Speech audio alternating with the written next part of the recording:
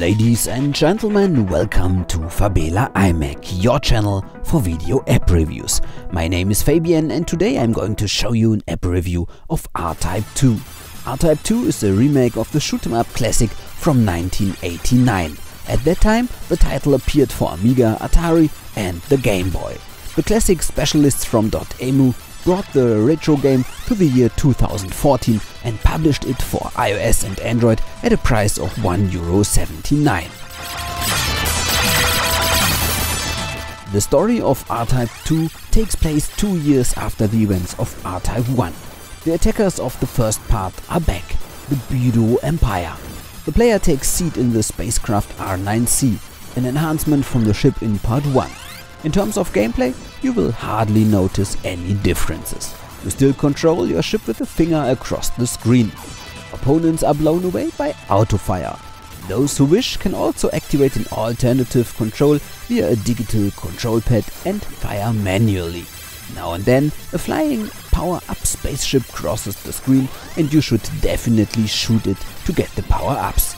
So you get the typically R-Type drone for your spaceship and more weapon systems.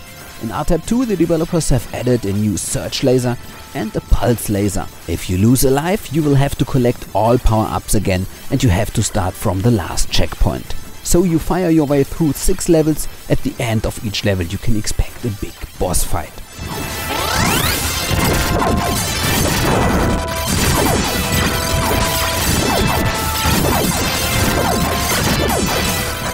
My conclusion. R-Type 2 is very similar to its predecessor. You can expect a very difficult retro shooter. The checkpoints are rare, each collision with walls or enemies deadly, and the boss fights are hard. What makes the game even more difficult is the fact that you lose all power-ups after a death. The touchscreen control is also significantly more difficult than the arcade stick or gamepad controls of the past. The app itself supports controllers, but very few of you are likely to have one, and the quality of the available external gamepads are average at best. As a small compensation, the developers included different difficulty levels into the game. In the lightest difficulty level, you have infinite lives. R-Type 2 is approximately 41 megabyte in size and has an average rating of 4.5 stars out of 5 in the iOS App Store. Those of you who are interested in a well done retro shooter should download the game.